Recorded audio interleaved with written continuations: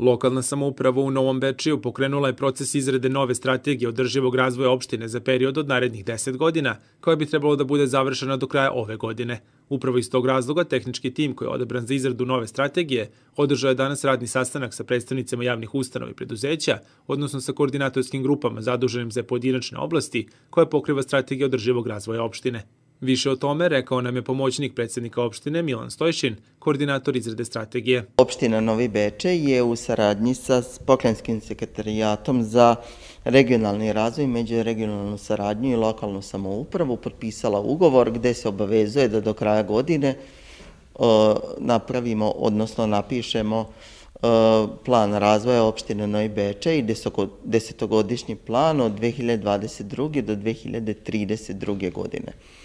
Taj plan razvoja sadrži, e, treba da sadrži više oblasti kao što su poljoprivreda, privreda i infrastruktura, zatim zaštita životne sredine, turizam i informisanje, e, društvene delatnosti i tako dalje.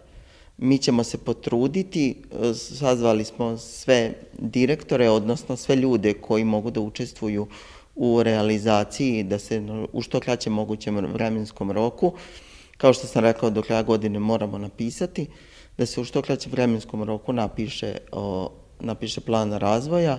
Sazvali smo sastanak, nadamo se dobrom učinku i nek nam je sa srećom koje su dalje procedure i na koji način će se pristupiti izradi nove desetogodišnje strategije održivog razvoja opštine Novi Beči, objasnila je dalje Cecilija Šajber, zadužena za pružanje tehničke podrške pri izradi iste. Metodologija koju je negde predložila stalna konferencija gradova i opština je a, dosta dobro formulisala korake u koje mi treba sledeće da se upustimo. Ono što nas malo muči je činjenica da ne možemo da okupljamo veliki broj ljudi na jednom mestu i da se moramo okrenuti negde tim modernim tehnologijama koje će nam pomoći da ovaj proces što uspešnije obavimo. Mi smo do sada imenovali koordinatore radnih grupa koji će biti zadržani za određene sektore i prikupljaće sve relevantne informacije koje nam trebaju za plan razvoja. Ono što je važno je da negde opština ostaje na istom e, kursu, da e, u većini e, pravaca razvoja strateških se samo nastavlja na ono što je do sada bilo, tako da će nam tu prošla strategija pomoći u smislu kvantitativnih i kvalitativnih podataka, a od današnjeg sastanka očekujemo da ljudi shvate ozbiljnost, kratak rok i da negde se angažuju što je više maksimalno iz svojih oblasti, da nam omoguće pristup informacijama koje će onda posle koordinatori integrisati i zajedno ćemo napisati jedan e, plan razvoja koji će odslikavati ono što e, grupa ljudi koja je učestvovala, a koja je zadužena za svoje sektore, trenutno misli u opštini Novi Bečej. Prethodnu strategiju održivog razvoja opštine za period od 2014. do 2020. godine odbornici Skupštine opštine Novi Bečej usvojili su krajem decembra 2013. godine i nalazi se na sajtu opštine Novi Bečej. Humanitarna akcija prikupljanje sredstava namenjenih za lečenje Novobečejke Mine Filipović i dalje se nastavlja, a ovoga puta u organizaciji Udruženja građana Samopouznanje svoj doprinos daće učenici osnovnih škola Milo Čiplić i Josif Marinković iz Novog Bečeja.